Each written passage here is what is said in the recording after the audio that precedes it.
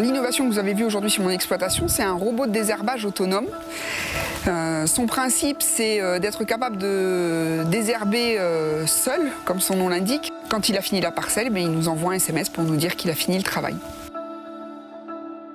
On a rencontré des maraîchers, dont Xavier et Stéphanie Outre, à Belbereau, qui nous ont confirmé que le désherbage était bien pour eux prioritaire. L'idée leur a beaucoup plu et ils nous ont dit ben, vous pouvez venir quand vous voulez pour faire des essais chez nous en fait. Ça a démarré comme ça, on est venu faire des tests. On a testé plein de prototypes qui ont tous plus mal marché les uns que les autres, mais euh, petit à petit, chaque étape, on, on avançait, on progressait sur les outils, on progressait sur le guidage, on progressait sur les moteurs électriques.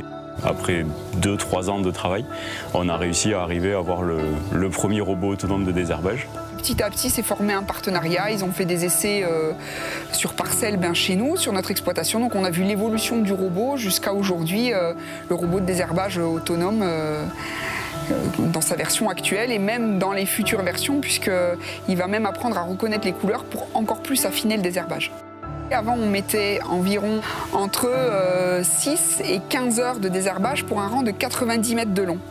Aujourd'hui, le robot, il arrive à faire cette, euh, cette tâche en 7 minutes. On a gagné au niveau main-d'œuvre, on a gagné au niveau pénibilité de travail, mais aussi on gagne en optimisation d'arrosage et de fertilisation. Quand on teste quelque chose, on leur montre et ils disent de suite oui ça c'est bien, non ça c'est pas bien. Ça on pourrait plutôt le tester de telle manière, on pourrait modifier ça. Ça permet d'avancer de manière très itérative et très efficace en améliorant à chaque fois un petit peu et en se rapprochant du vrai besoin. Les résultats en termes de désherbage sont très bons. On a encore plein d'idées avec eux pour améliorer autant le guidage que les outils, donc c'est un, un engin qui progresse tout le temps. Nous, on, a- on est sans cesse en recherche d'optimisation du robot. Aujourd'hui, il est capable de désherber, il est capable de faire de l'assistance à la récolte. Et nous, on leur a demandé euh, de réussir à faire en sorte que ça devienne un semoir autonome. Maintenant, il faut passer à l'étape euh, suivante, avoir un robot plus important qui pourra euh, fonctionner sur des plus grosses parcelles. Ensuite, il y a des aménagements euh, pour des maraîchers à adapter leur densité de culture pour que le, robot puisse fonctionner. C'est important entre agriculteurs de se rencontrer parce qu'on est quand même un métier où on est relativement isolé, on est sur nos parcelles, on ne rencontre pas forcément toujours d'autres personnes.